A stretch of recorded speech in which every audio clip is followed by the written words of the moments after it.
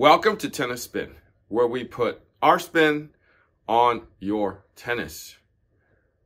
Questions that I get asked almost every day, both online and in person.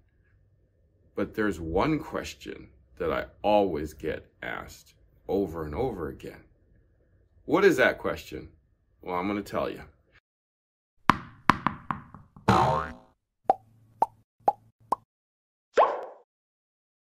All right, guys, before I get into uh, the question, I want to thank our sponsor for this particular episode, Racket Aid.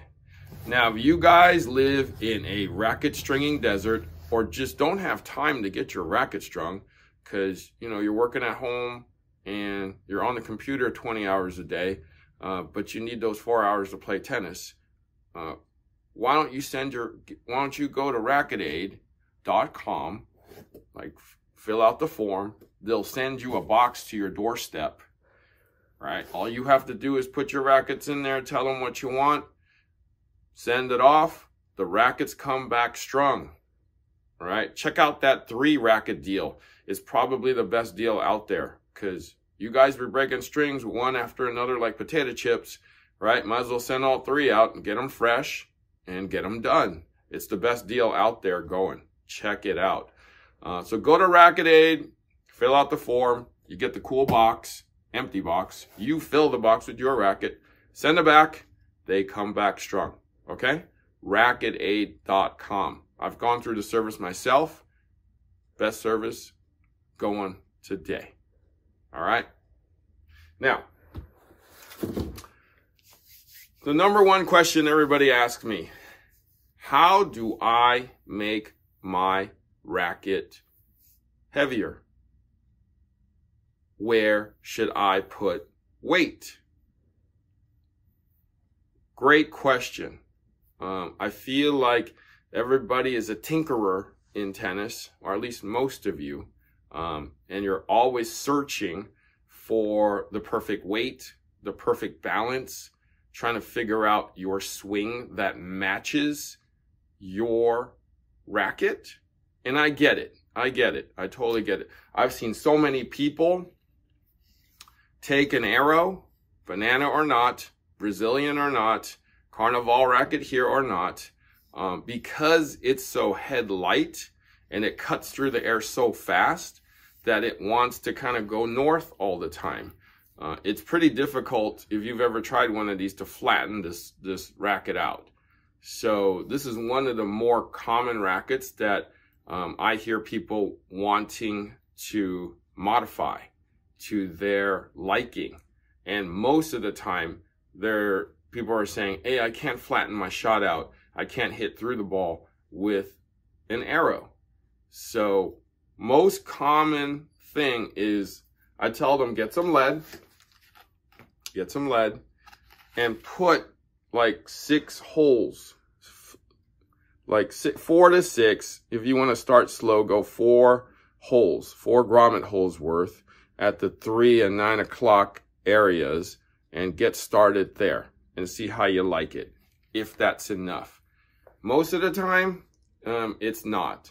So I usually say go six to start. And if that's not enough, go for four more holes up top. Okay, and that should remedy the situation. Now, um, I've I've actually seen some people um, pretty much can't hit through the ball and can never hit through the ball, and they've let it let this racket up pretty much all over 10 and 2, 3 and 9, 12 o'clock, even some here at the shoulders and they still really can't get what they want out of the racket. At that point, you're probably going to have to switch rackets uh, because it's probably not the racket for you. In order to make a racket suit your natural swing, uh, you're going to have to find the racket that suits your swing, right? Now, I know everybody wants topspin. It's, you know, that's why the channel is called Tennis Spin, right? Because it's all about spin. And now we're going to spin the racket, right, into a different racket now because obviously this racket isn't working for you. Now, when people switch to a different racket, they go to something a little more head heavier, like a pure drive. So we go to something naturally head heavier to basically remedy what is missing from your swing, right? So question is, how do I make this heavier? How do I make my racket heavier? Right? Sometimes lead will work. Sometimes you have to switch rackets. Now, I feel that, you know, people like to tinker and tinkering with lead and tinkering with leather is another common thing that I get asked is like, I've added leather to my thing. You don't really add swing weight as you saw in one of my videos. Um, you kind of add more, just a little more weight in the handle, but the swing weight doesn't change. So, but it does, you do feel a little heft in that handle, just a little more, and you feel the bevels a little more, and you feel feel a little more with leather. So a lot of people do the combination of these two. And I think we can almost call it a day sometimes. Sometimes. Now, after you put the leather on, right, you got to choose the overgrip. Now, do you go like thin, like a super grap, or do you go thick, like a supreme? That's up to you. I don't use overgrip. So, and I usually don't use leather because I don't use an overgrip. Because if I use leather, I would have to use an overgrip. Um, so that's, you know, so these are the ways most people modify their rackets that are simple that you can do. Sometimes you have to change your racket, um, unfortunately. But hey, lead usually does the trick. But when it doesn't, um, racket change is in order.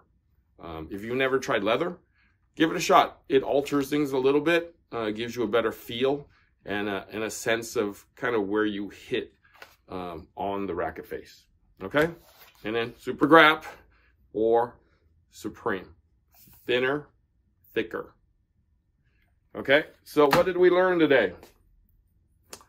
We have to add lead to this for most people, unless you like spin, spin, spin, right? If you don't, go with a pure drive, okay?